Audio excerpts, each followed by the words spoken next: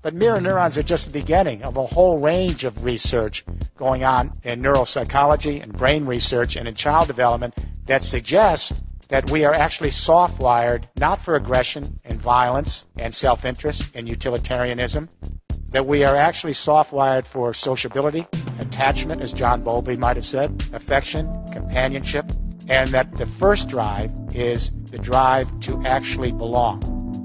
Empathy is grounded in the acknowledgement of death and the celebration of life and rooting for each other to flourish and be.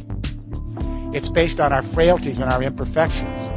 So when we talk about building an empathic civilization, we're not talking about utopia. We're talking about the ability of human beings to show solidarity not only with each other, but our fellow creatures who have a one and only life on this little planet.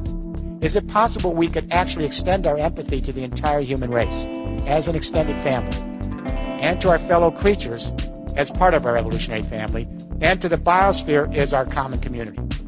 If it's possible to imagine that, then we may be able to save our species and save